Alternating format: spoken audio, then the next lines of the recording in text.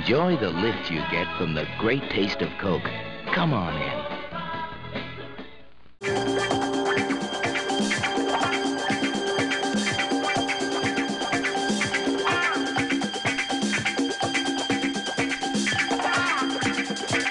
From Channel 14 News, this is Newslands, the evening report.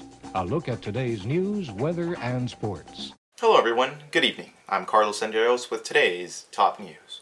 Chinese Chairman Mao invited the American ping pong team to China while they were playing in Nagoya, Japan. This makes the ping pong team the first Americans to be invited into China since Communist China in 1949. I have a historian analyst with me today to comment on this. Uh, Jay, are you with us, Jay?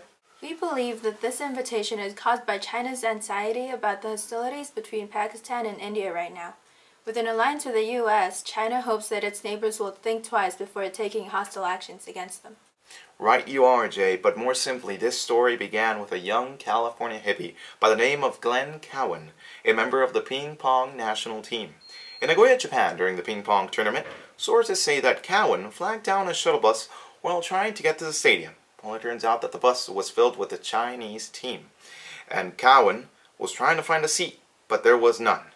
Standing by the door because there were no available seats, and to break the silence, he exclaimed in English, and I quote, I know my hat and hairstyle looks funny to you, but in the US, lots of people look like this, Cowan said.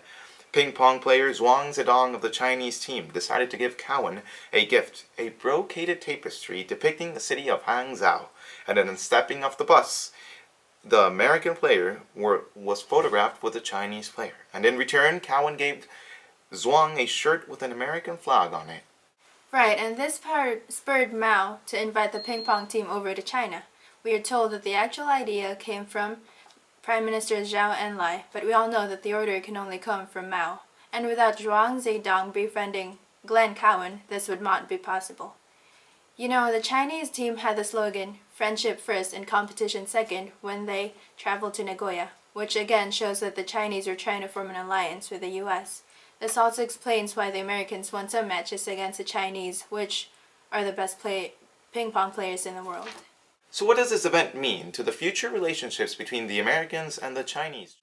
Oh yeah, you know, uh, I think that America, you know, involving itself in relations with China is a great thing. I mean, look, I just met this guy, you know, and he told me to get on the bus, and then he gave me, you know, a little gift from China.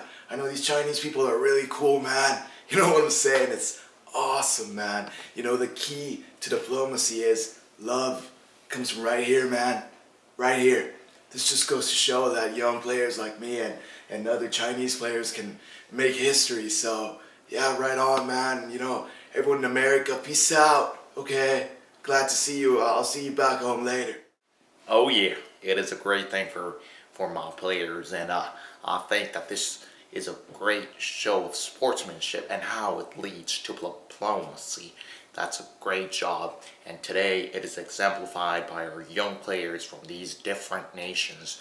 I feel very proud, very proud of Glenn that he befriended uh, this player from China and how this has improved the relationships between uh, the Americans and the Chinese and uh, this is just a wonderful experience and I feel that this will go down in history in years to come. So I, I feel honored and blessed to be a part of this so thank you.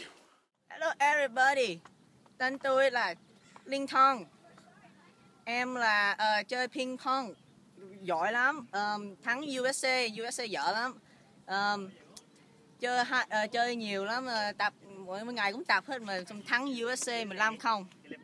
Well, it could mean an alliance with China and maybe even a visit from President Nixon. Who knows, anything could happen.